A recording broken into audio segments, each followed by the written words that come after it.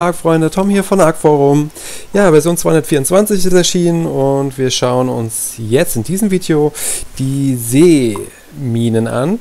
Und dafür begeben wir uns nochmal kurz in den Fabricator. Dann zeige ich euch noch ganz kurz, ähm, was denn an ähm, Mineralien oder an Ressourcen benötigt wird. Ja, da seht ihr hier 15 Polymer, 30 Metal Ingot, 20 Cementing Paste, 15 Oil, 75 Gunpowder sowie 25 Crystal.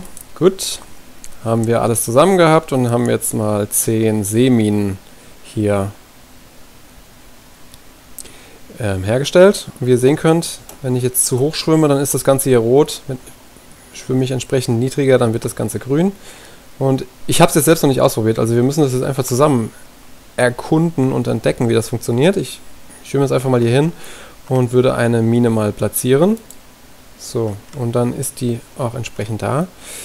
Ähm, oh, ich hoffe jetzt nicht, dass da was passiert. Okay. Ich schwimme jetzt nochmal näher ran, um zu schauen, ob ich eine Einstellung treffen kann. Okay, wir können hier also Einstellung auswählen. Und wir können es nur zerstören. Ähm, Im DevKit war es ja eigentlich so, dass da noch eine Kette dranhängt, weil so schwimmt ja diese Mine jetzt einfach frei im Wasser umher. Schauen wir jetzt gerade mal.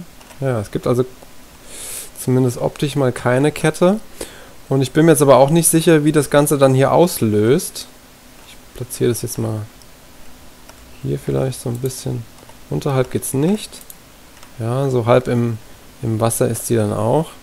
Und sie wird also von meinen eigenen äh, Freunden in Anführungszeichen nicht ausgelöst. Ich versuche es einfach mal selbst dagegen zu schwimmen. So. So. Ja, gibt also wirklich keine Einstellung hier. Ich versuche es mal dagegen zu schlagen, vielleicht passiert ja dann was. Ne, dann geht sie also nur kaputt und ähm, ich muss sie reparieren. Gut, dann funktioniert das also nicht. Ihr habt jetzt auf jeden Fall einen Eindruck bekommen von der Seemine und ja, ähm, falls ihr noch Fragen habt, schaut einfach bei uns im Forum vorbei. aquaforum.de ist die Adresse. Wir freuen uns über euren Besuch. Bis dahin, euer Tom. Ciao.